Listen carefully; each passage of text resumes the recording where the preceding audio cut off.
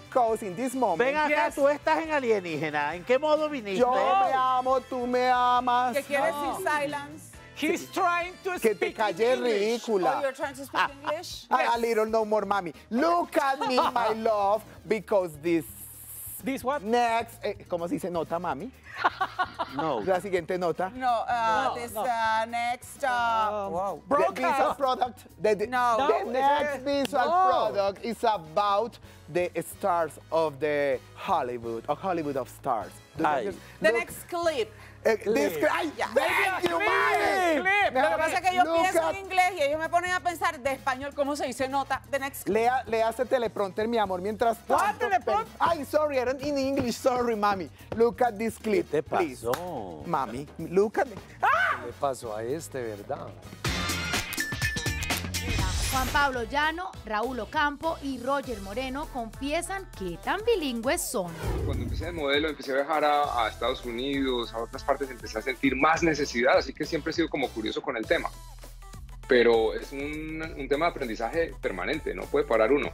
Ahora, yo no puedo decir que lo hablo perfectamente, pero siempre vivo en preparación y mi meta es hablarlo perfecto para, para poderme meter como es en el mercado americano.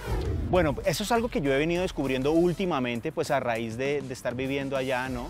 Eh, yo creo que con, con todas las plataformas y toda la visibilidad que tienen hoy en día los actores, ya para hacer casting, ya para hacer un trabajo específico y que no te encasillen pues en el latino, sí, sino que realmente puedas hacer otro tipo de roles, es importante. Para mí es muy importante. Ya tenía unas bases, pero cuando me llega el primer casting en inglés, era un personaje que hablaba tanto en español como en inglés.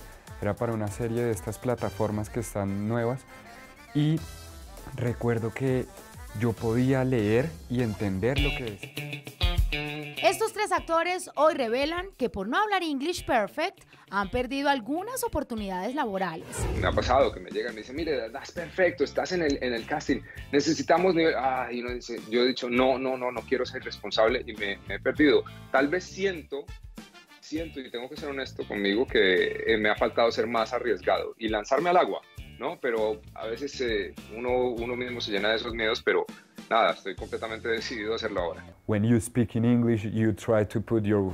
Lo tenía muy bien estudiada la escena en inglés y de la nada el director me dice, no vamos a hacer la escena como está escrita, improvisemos. Y yo empiezo a sudar frío porque, porque claro, lo estudias muy bien, pero ya improvisarlo es un manejo de toda la situación perfecta, de todo, entonces me descolocó un poquito, ahí lo que me sirvió a mí fue ser honesto y decir como, men, no podría improvisar como tal, como, ah, miren qué virtuoso este actor improvisando, pero sí podría guiarme un poquito desde el guion y meterle cositas. A veces como que cuando llegan los cast y no hay esa posibilidad, pues uno siempre se alcanza a asustar un poco, ¿no? O sea, es práctica, es práctica, pero, pero sí se alcanza uno a asustar y decir, bueno, todavía no lo tengo tan claro, prefiero más bien esperar una segunda oportunidad. Ahora, hay mucha oportunidad. Ahorita estoy precisamente, un amigo me dio un curso súper completo con una técnica espectacular.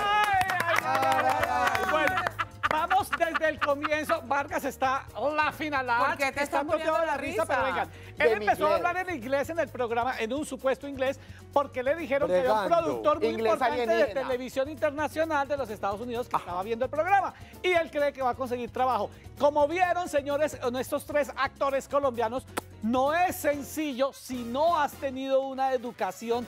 Yo creo que desde pequeño, María, desde la primaria y el bachillerato y ya después más especializado. De un idioma que no sea el nativo, lograr aprenderlo lo suficientemente bien como para presentar un casting, pero sobre todo pretender trabajar en, televisión Lo internacional. primero que hay que hacer es no traducir. Exactamente. Lo único que no debe hacer Claro, eso no usted frena. es traducir el español al inglés porque son dos idiomas completamente diferentes Total. y los verbos no se conjugan de la misma manera. Pero les tenemos una pregunta a nuestros televidentes, pero sobre todo a nuestros seguidores también en las redes sociales. ¿Qué oportunidad han perdido o qué, cuál oportunidad se perdió por no saber inglés?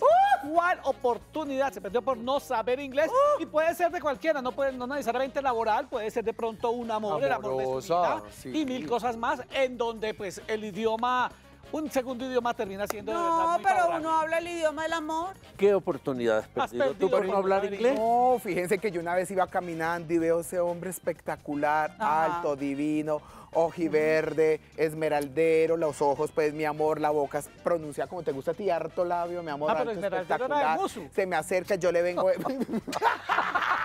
yo le vengo ¿Qué de frente.